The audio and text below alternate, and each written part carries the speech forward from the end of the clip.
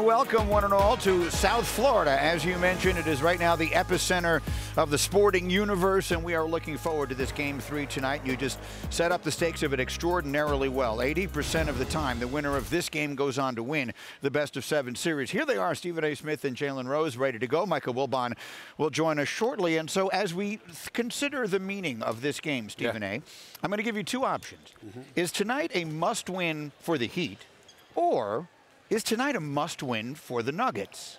Well, I think it's a must-win for the Miami Heat because I think the Miami Heat are the inferior team talent-wise. We understand that Jimmy Butler uh, is a closer, but in the same breath, the star that Nikola Jokic is, a, reigning, a two-time league MVP, not to mention the star that Jamal Murray is, they've got a two-headed monster that feed directly off of one another. For, for the Miami Heat, Jimmy Butler is certainly a catalyst. He's certainly somebody that steps up and produces for them big time as a game wanes, but he needs the assistance of a lot lot of those role players to help him out because he's not the kind of superstar that really takes over from start to finish as a marquee guy.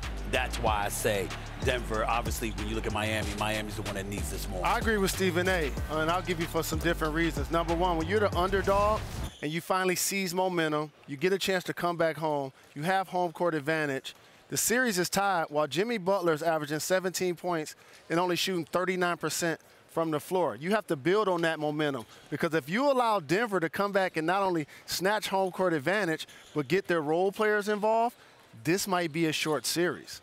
If the Miami Heat win, we get a long series. I understand that, that to some degree, we continue, and I raise my hand because I'm a part of this as well, to just continue to sell short this Miami team. We're still talking about it like, well, Denver might just put them away, just as we thought the Celtics might, and we thought the Bucks mm. might, and candidly, we thought the Knicks might. The, the reality of it is the Heat now have home court advantage in the NBA That's finals. true, and that's a testament to the greatness of their coach, the greatness of their culture, the greatness of their leader, Jimmy Butler. But I would remind you that we didn't always feel that way. When they were up 3 3-0, we thought Boston was finished. Yeah. We thought that Miami was going to take Correct. them out, and they failed once twice and three times. Mm-hmm. It was mm-hmm. baseball, they would have struck out. but it's basketball, so you got four bites at the apple once you're up 3 0 in a best of seven series. That's what happened to the Miami Heat. So it hasn't always been that way. We just look at what they had. They was the least efficient offense in basketball during the regular season. They was the most prolific offense in the postseason.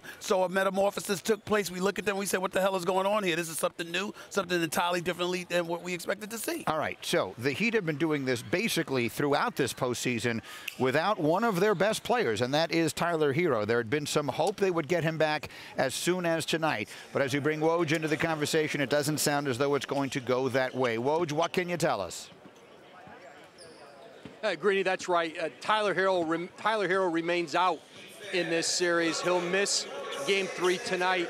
Uh, he continues to experience some soreness, and that surgically repaired uh, right wrist of his that he fractured all the way back in game one against Milwaukee in the first round of the Eastern Conference Finals. He has ramped up his work. He has had uh, contact practice uh, where he's gotten physical with that wrist, but it continues uh, to uh, be sore. It continues uh, to have some pain in it. And so uh, I think for Miami, they're still unclear on when they can get back Tyler Herro. he again is out for game three tonight here in Miami.